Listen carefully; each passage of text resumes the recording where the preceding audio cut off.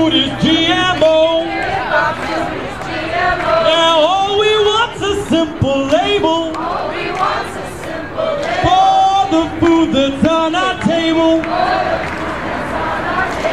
All right.